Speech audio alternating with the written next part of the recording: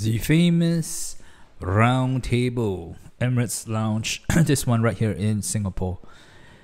Wherever business class lounge you go in Emirates, I think you see this round table. At least I've only been to a couple, and the one in London and the one in Singapore.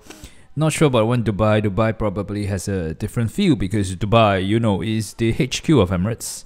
But here, the one in Singapore, you can see the classic round white color full of very nice things to eat.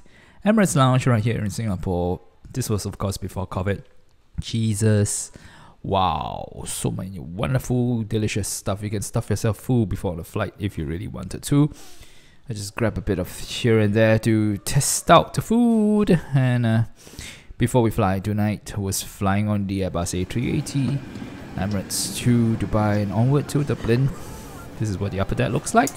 Airbus A380 upper deck on the um, Airbus A380 aircraft. Woohoo!